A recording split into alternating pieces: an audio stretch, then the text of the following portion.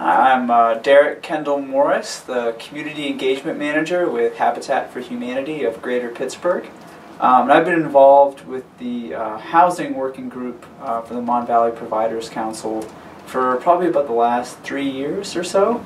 Uh, and it's been a great opportunity for me just to understand uh, more about the Mon Valley uh, and the housing needs in the different neighborhoods and communities throughout this area um, and how my organization can be a part of trying, trying to create solutions around those issues.